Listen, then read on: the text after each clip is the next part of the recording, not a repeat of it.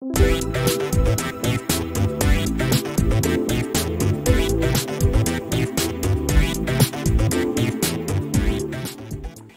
Well, welcome everyone to this afternoon's Heritage Volunteering Group Masterclass. So this is part two of a session around ethics in volunteer management. For anyone who doesn't know me, I'm Rhiannon and uh, one of your co-hosts for today. And we also have Will, who will be supporting with all the technical uh, stuff in the background. Uh, so we're all in good hands. So what we're going to do today, um, we held a session back in March, if, if people can remember, where we um, were introduced to ethics in volunteer management. What we're going to do in this session is to pick up that uh, conversation and really think about its application and how we can use that theory more practically. So we're joined once again by our very esteemed colleagues, uh, Katie Campbell and Rob Jackson. Uh, you all should have seen their bios in the uh, email that went out. So um, I will leave it there. But um, it should be a really, really exciting, quite engaging session. This session's a little bit longer than normal. So it's about an hour and a half to make sure we've got adequate time for chatting amongst each other um, and making sure that we can really drill down into the detail of the application of, of this ethics theory. So without further ado, I'm going to hand over to Katie. If you have any questions or queries throughout the session, as we've said, pop them in the chat and Will and I will uh, pick them up as we go. Handing over to you, Katie. Thanks ever so much for being with us today. Okay. See if I have the power yet. I don't think I do to share my screen. Will our technical will uh, will will be on that for us? there we go. Okay, great. Well, it's um, wonderful to be here back again for part two. Um, and there, okay.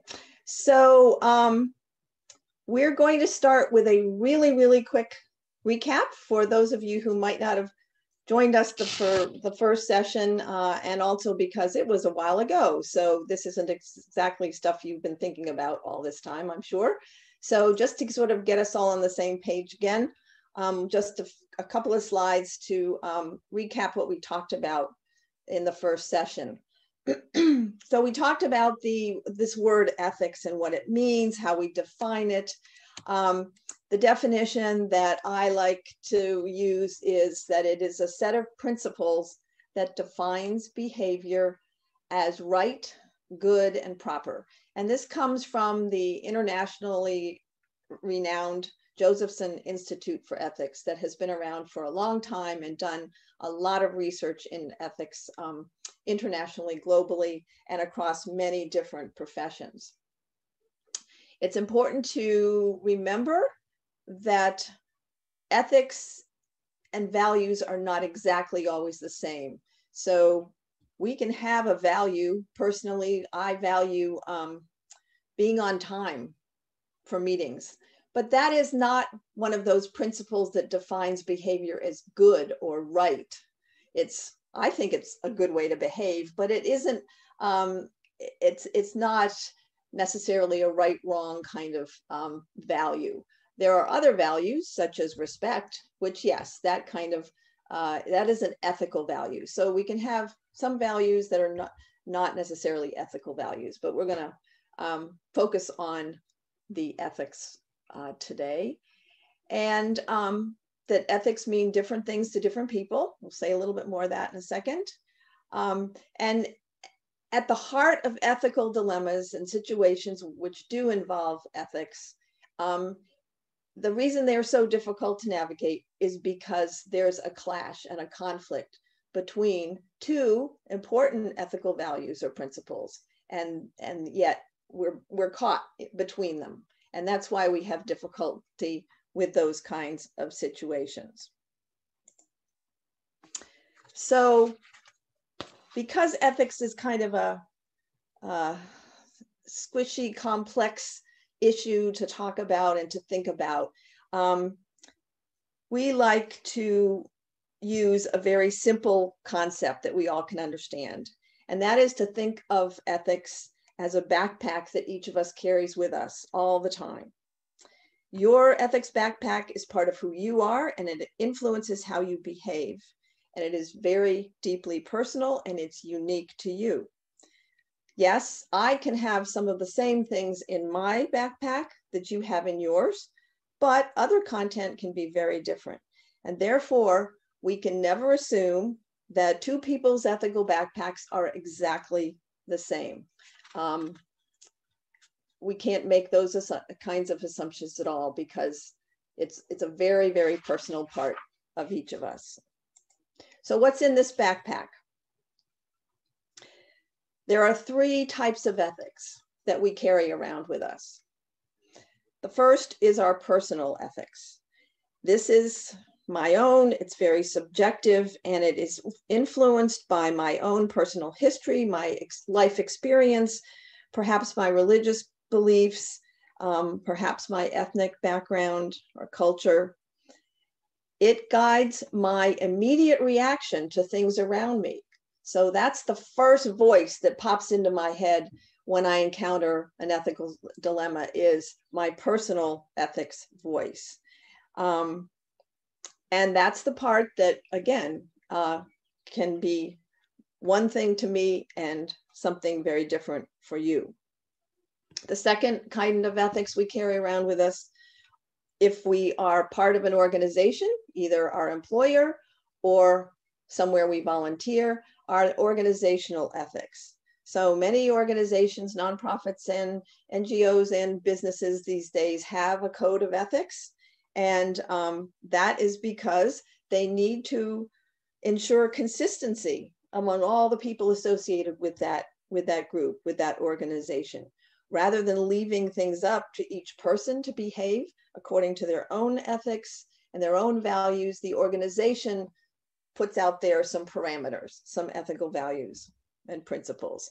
And when we're associated with that organization, either as an employee or as a volunteer, we are agreeing to abide by those values and those rules.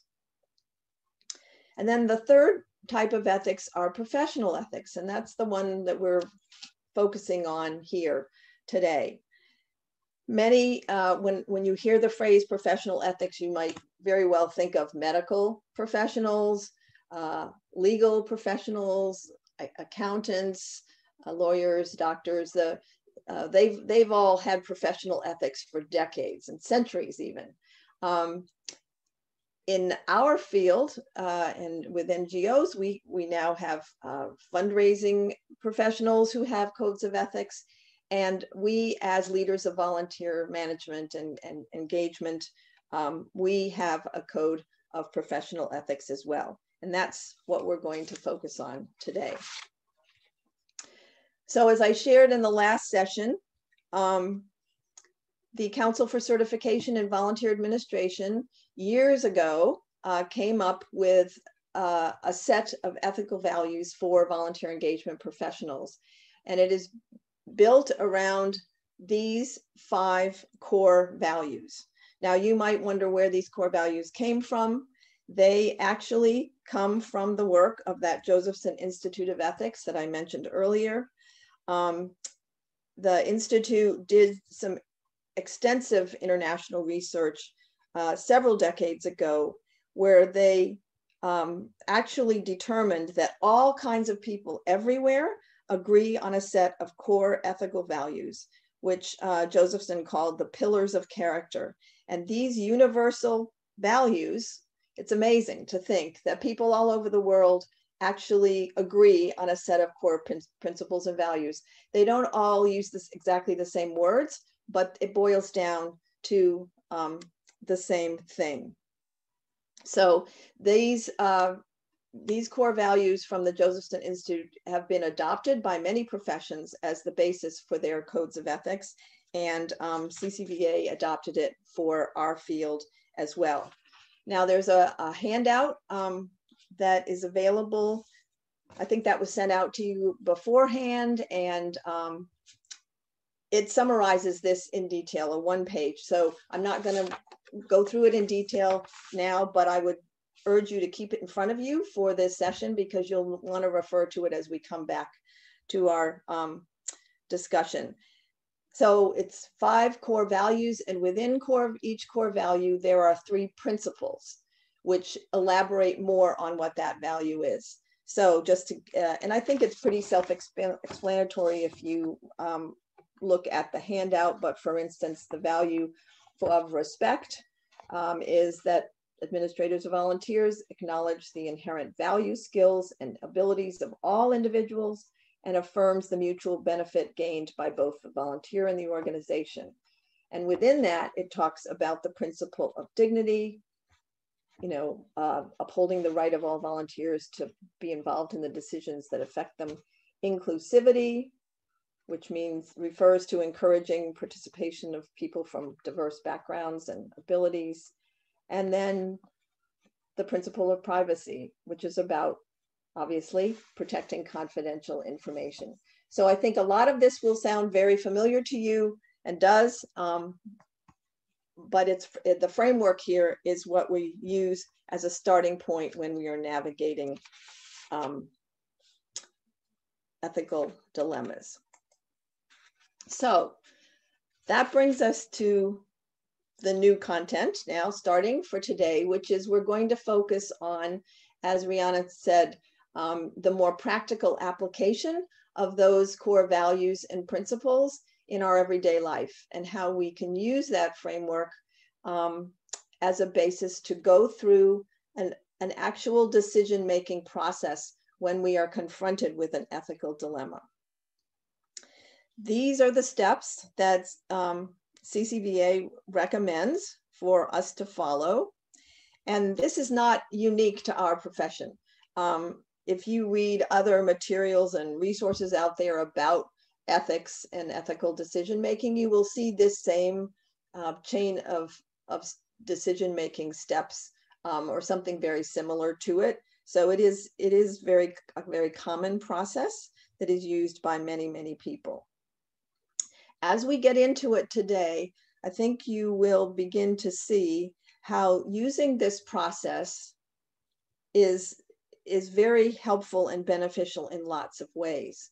The steps in general, we're going to walk through in a second more in more detail. But using these steps, first of all, it promotes a fuller understanding of the situation. Um, it helps us to avoid that knee jerk reaction based on our own personal bias or our personal ethics and, and forces us to kind of slow things down and take some time to think things through before we respond or before we act. This process also encourages creative thinking and, and the gathering of multiple perspectives about possible solutions and possible ways we could respond. Um, one thing we want to try very hard to avoid is responding to an ethical situation simply all alone by ourselves we need to gather input and ideas and creative thoughts um, from other people.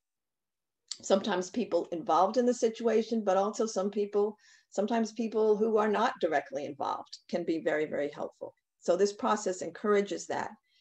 It, it also provides a very safe way to explore various options of response and various actions that you could take.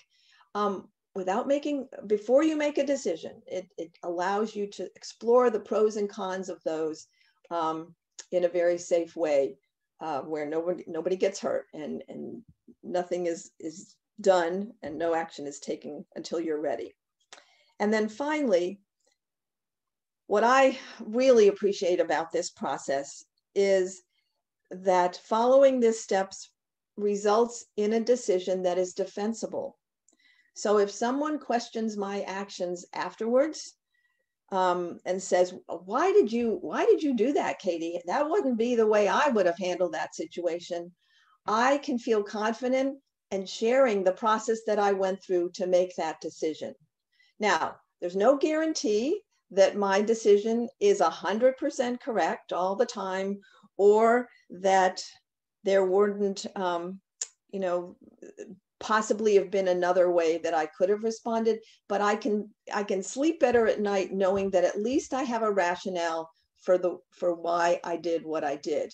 And mapping it out like this um, is really really helpful to have um, in case you are questioned in the future.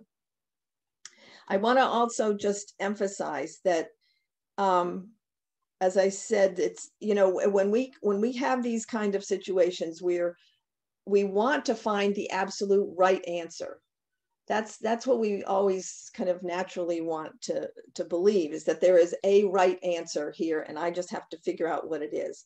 But the reality is that each situation is unique, and often the course of action we take will have some negative consequences. And something some consequences that are simply unavoidable and so what we what we need to keep in mind is that our goal needs to be to make the best decision with the best information we can get at the time and be clear about why we're making that decision and then be prepared for any potential negative implications. Sometimes someone will get hurt or the organization gets um, hurt in the process of resolving the uh, dilemma or the situation, but we want the least possible negative implications and, and results and the most positive that we can get.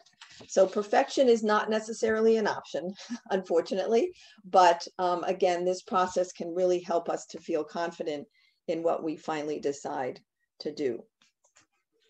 So going through these steps just in a little bit more detail. And again, there's a there's a handout here that I think has been popped into the, the link to it has been popped into the chat that um, lays out these decision-making steps. So you will have them in front of you again as we move into the breakout sessions. Um, first step is to gather more information. So you'll hear about the situation from somebody, but um, that's not the whole story necessarily.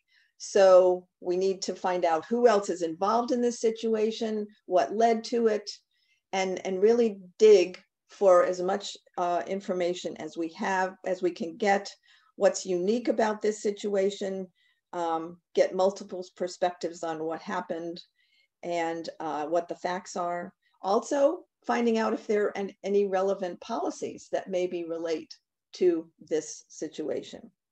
The second step is to actually name the conflict, name the values or principles, ethical values or principles that are at the heart of this. Where's the tension? There is tension here. That's why it's so difficult to navigate. So we want to name those, looking at that CCVA framework of um, the core app value and principles, that first handout, looking at those and saying, okay, where, what's it, which of these are involved in this situation? The third step is then to explore those options that I mentioned earlier. So to, to think about what are the, the various things that ways that I could respond to this situation. Usually you can quickly come up with a couple of different um, possible things that you can do. Um, but again, talking with other people uh, may generate some additional possible options.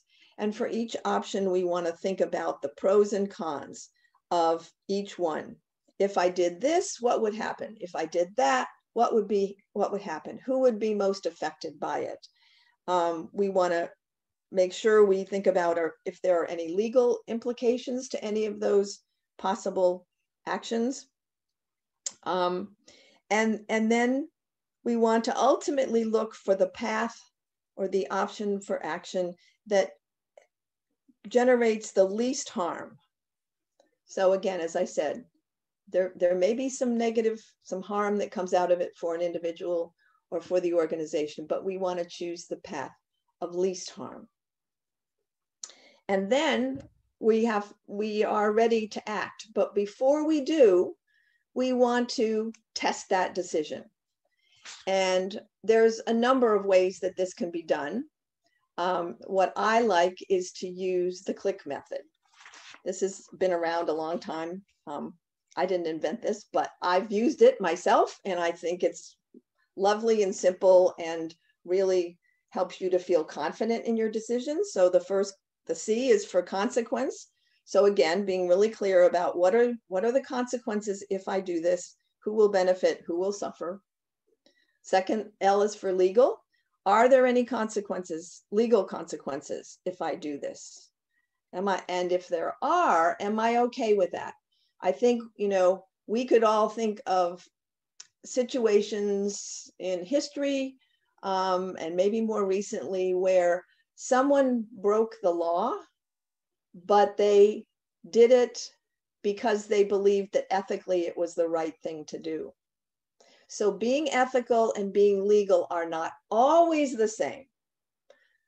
Thank goodness, I think most of the time they are, but sometimes they're not. And so if we're going to take an action that is violating a law, um, we can choose to do that. We just need to go into it with our eyes open and realize that that is going to be um, one of the consequences. The I is for image.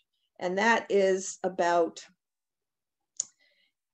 is this going to harm our, the public image of myself or our organization? Um, if we put this in current terms, you can ask yourself, would I be comfortable seeing this decision announced in the newspaper or on Facebook? Okay. Um, this that particular one has been an important checkpoint for me in the past in my decision making. Um, and, and I remember one case in which it really stopped me and made me pause and think, ooh, yeah, I feel okay about this in the privacy of my own office, but am I comfortable with this going public? Mm, I don't know that I am. And so that made me step back and, and reevaluate a little bit. Um, culture, does this decision support or damage our organization's culture and values? And then the, the K is for knot. Does this action cause a knot in my stomach?